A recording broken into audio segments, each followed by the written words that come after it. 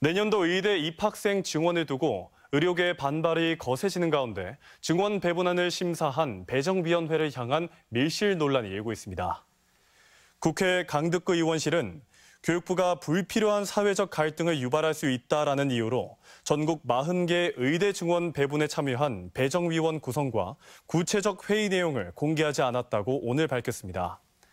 앞서 배정위는 지난 15일 첫 회의를 개최한 이후 지난 20일 배정 결과를 발표해 위원회 가동 일이 닷새에 그쳤다는 비판이 제기됐습니다.